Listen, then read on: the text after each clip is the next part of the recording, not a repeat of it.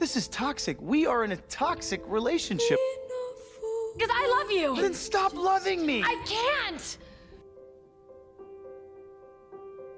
Now you're mad at me for including Stefan? No, I'm mad at you because I love you. So, Damon, tell me, what is it that I want? You want a love that consumes you. You want passion and adventure and even a little danger. What about, what about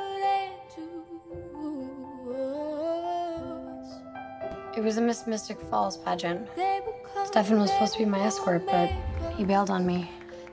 Damon stepped in. He saved me from being embarrassed in front of everyone. He took my arm and led me out with the rest of the girls and all their dates, and we danced. I remember that was the first time that I felt it. Felt what? How sexy he was. I'd never let myself notice until then. I mean, obviously, I knew that he was attractive, but I didn't want to see him that way.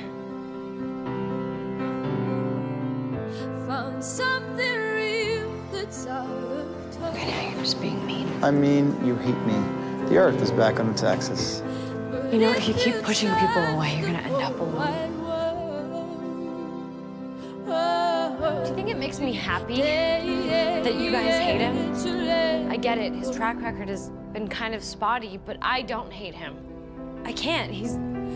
What about, what about I think I'm falling in love with him.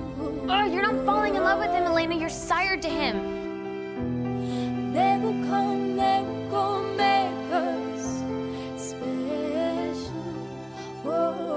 Much as you and I both hate it, Damon does love Elena. Don't give me up. It's just. It's just. How can you trust him? Because I think he loves her as much as I what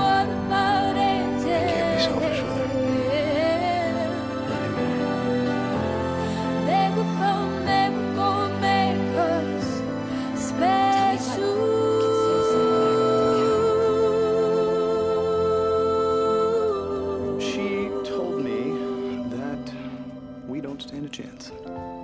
It's not about, not And what did you know about us? Well, she told me a very interesting little story about the history of doppelgangers. How they're fated to fall in love with each other. Basically, the universe programmed you to fall in love with Stefan, not me, which means we're a lost cause no matter what we do. Even if I wanted to apologize, you couldn't hear me. So I won't. Please don't leave me. I don't have a choice, baby.